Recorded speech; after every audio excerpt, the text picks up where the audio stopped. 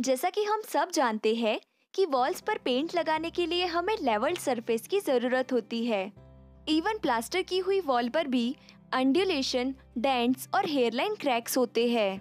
इन सारे इम्परफेक्शंस को दूर करने के लिए और वॉल्स को क्लीन स्मूथ फिनिश देने के लिए पुट्टी का यूज़ किया जाता है। आज हम मार्केट में मिलने वाली दो popular putty white cement putty और एक्रेलिक पुट्टी के डिफरेंसेस के बारे में जानेंगे। जिसे आप अपने घर की वॉल्स के लिए सही पुट्टी चूज़ कर पाएँगे। शुरू करते हैं इनके कंसेप्ट से। White cement putty white cement polymers और मिनरल से मिलकर बनती है। जबकि एक्रेलिक पुट्टी को बनाने के लिए white pigments extenders acrylic emulsion और एडिटिव्स का यूज़ होता है। White cement putty powder form में आती है और एप्लीकेशन के टाइम पर पानी मिलाकर इसका पेस्ट बनाया जाता है फिर उसे वॉल्स पर अप्लाई किया जाता है। जबकि acrylic putty ready to use smooth paste form में आती है, जिसे कुछ ऐड या मिक्स किए बिना ही वॉल्स पर लगाया जा सकता है। व्हाइट सीमेंट पुट्टी का यूज़ हम इंटीरियर और एक्सटीरियर वॉल्स और सीलिंग के लिए कर सकते हैं। जबकि एक्रिलिक पुट्टी का यूज़ हम इंटीरियर वॉल्स वुडन सर्फेसेस और सीलिंग के लिए कर सकते हैं पर इसे एक्सटीरियर्स में यूज़ नहीं किया जा सकता। व्हाइट सीमेंट पुट्टी का यूज़ क्रैक्स को फिल करने के लिए और वॉल्स को क्लीन मैट फिनिश देने के लिए होता है। जबकि एक्रिलिक पुट्टी का यूज़ स्पेशली डेंट्स और हेयर क्रैक्स को फिल करने के लिए अनइवन वॉल सरफेसेस को लेवल करने के लिए और वॉल्स को पेंटिंग से पहले स्मूथ फिनिश देने के लिए होता है। White cement putty cement based होने के कारण इसमें सुपीरियर बाइंडिंग प्रॉपर्टीज़ होती है। इसीलिए इसकी स्ट्रेंथ भी ज़्यादा होती है। जबकि एक्रेलिक पुट्टी की बाइंडिंग प्रॉपर्टी और स्ट्रेंथ सीमेंट बेस्ड पुट्टी से कम होती है। सीमेंट बेस्ड पुट्टी का वाटर रेजिस्टेंस पावर हाई होता है। इसलिए आप इसका यूज़ नमी और सीलन वाली दीवारों पर भी कर सकते हैं। इसके अपोजिट एक्रेलिक पुट्टी का वाटर रेजिस्टेंस पावर कम होता है।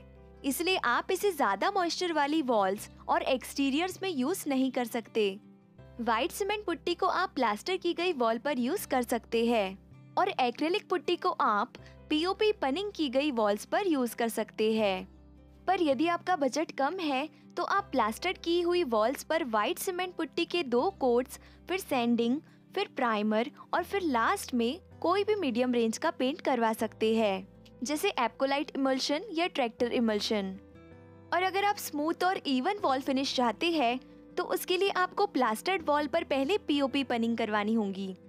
फिर सैंडिंग फिर वाटर बेस्ड प्राइमर फिर एक्रेलिक वॉल पुट्टी, फिर प्राइमर और फिर लास्ट में कोई भी लग्जरी पेंट जैसे इमल्शन पेंट या लस्टर पेंट दोस्तों, यदि आप लग्जरी पेंट करवाने वाले हैं तो व्हाइट सीमेंट पुट्टी का यूज़ ना करें, क्योंकि इससे डिजायर्ड फिनिश नहीं मिल पाएगी। सैंडिंग के बाद वॉल स्मूथ तो हो जाएगी, पर वॉल्स में अंडुलेशन रहेगा ही। क्योंकि अंडुलेशन फ्री वॉल्स के लिए पीओपी पनिंग और एक्रेलिक पुट्टी मस्ट है। अब हम बात करते हैं इनके प्राइस की। वैसे तो मार्केट में आपको ये प्रोडक्ट्स काफ़ी सारे पॉपुलर ब्रांड्स में मिल जाएँगे। पर यहाँ पे हम कंपैरिजन के लिए एशियन पेंट ब्रांड को कंसिडर कर रहे हैं। व्हाइट सीमेंट पुट्टी का 40 केजी का बैग आपको अराउंड 700 टू 800 रुपीस की प्राइस रेंज में मिलेगा। वहीं Asian Paints acrylic wall putty की 20 केजी की बकेट आपको अराउंड 950 से 1000 रुपीस की प्राइस रेंज में मिलेगी। आप देख सकते हैं कि acrylic putty white cement putty से ऑलमोस्ट दो गुना महँगी है। अब आपका क्वेश्चन होगा कि मैम दोनों में से सबसे बेस्ट पुट्टी कौन सी है? तो व्हाइट सीमेंट पुट्टी को आप एक्सटीरियर वॉल्स में और सीलिंग में जिप्सम प्लास्टर की जगह यूज़ कर सकते हैं।